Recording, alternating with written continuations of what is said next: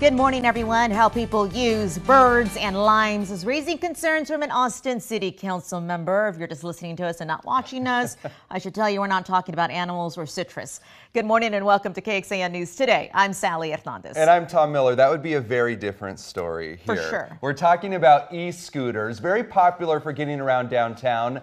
They both cover the streets and also a lot of sidewalks in a lot of spots. We have KXAN's Dylan McKim live for us this morning downtown explaining why there is this concern. Good morning, Dylan. Hey, good morning, Tom and Sally. You don't have to travel far to find some of these scooters here, like you see behind me. Usually you'll see them lined up nice and neat like this, waiting for the next rider, but there are the problem children over to the left here. These are the kind of scooters that are raising concerns for council member Mackenzie Kelly. She says it's a safety issue for people who are walking on the sidewalk and cars in the street. Avoiding that downtown traffic, people use another mode of transportation. E-scooters. And there's an abundance of these scooters in Austin. We use them every day.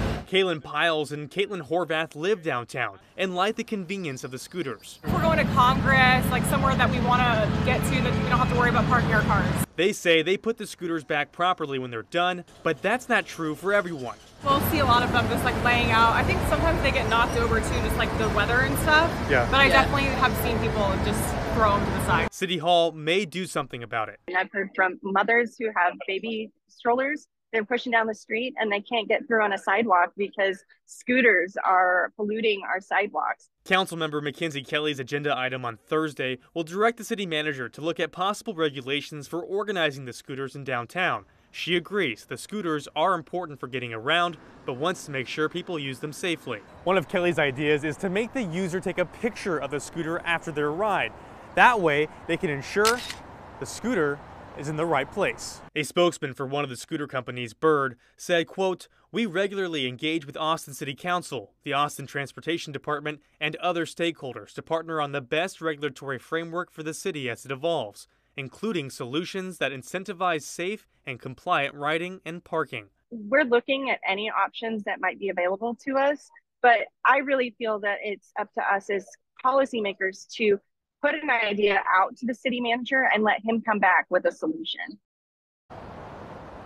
And Kelly tells me she got the idea after a recent visit to Washington, D.C.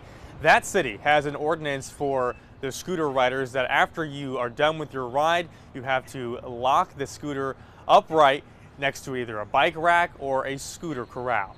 Live in downtown, Dylan McKim, KXAN News.